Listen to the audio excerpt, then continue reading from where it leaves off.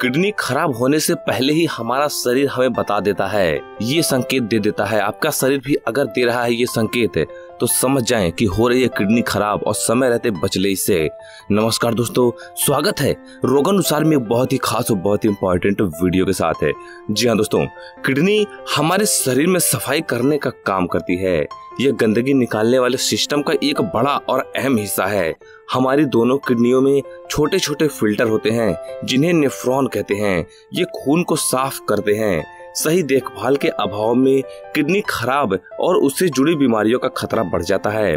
Health experts कहते हैं कि किडनी खराब होने के लक्षण इतने हल्के होते हैं कि किडनी का कार्य बॉडी से टॉक्सिन्स को बाहर निकालना होता है।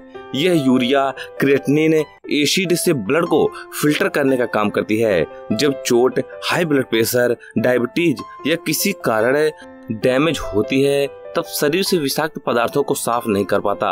इस कारण टॉक्सिन्स जमा होने लगता है। किडनी में प्रॉब्लम्स काफ़ी मामूली होते हैं, जिन्हें आसानी से समझा जा सकता है। आइए आपको बताते हैं कि किडनी खराब होने से पहले हमारे शरीर में ये लक्षण कैसे दिखते हैं। लेकिन इसे जानने के लिए आपको वीडियो पूरी देखनी होगी, क्योंकि हम नहीं चाहते कि आपसे कोई भी खास जानकारी छूटे तो वीडियो को अंत तक ज़रूर देखें। दोस्तों, हमारे वीडियो को लाइक करना ना भूलें। इससे हमारा मोटिवेशन अप होता है। साथ में चैनल को सब्सक्राइब कर दें और बेल आइकन दबाने के साथ ही ऑल नोटिफिकेशन को ज़रूर ऑन कर लें, ताकि जब भी मैं नए वीडियो अपलोड करूँ तो उसका नोटिफिकेशन आपको आपके मोबाइल पर मिल जाए। इसके लिए ऑल नोटिफिकेशन को ज़रूर सेलेक्ट करें। नंबर एक दोस्तों, शरीर से विषाक्त पदार्थों और वेस्ट का संचय भी आपकी भूख को कम कर सकता है, जिससे वज़न घटने लगता है। कम भूख का एक अन्य कारण सुबह जल्दी मतली और उल्टी भी हो सकती है। इस कारण व्यक्ति को हर समय पेट भरा हुआ महसूस होता है और कुछ खाने का मन नहीं करता।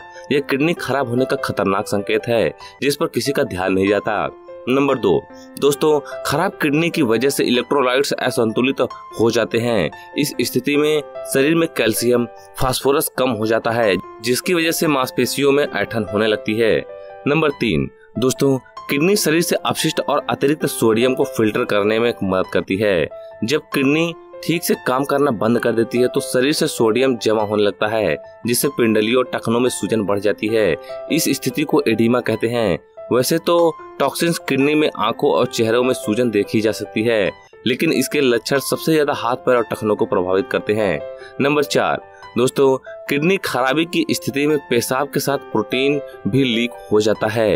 इस स्थिति में आँखों के आसपास सूजन महसूस हो सकती है।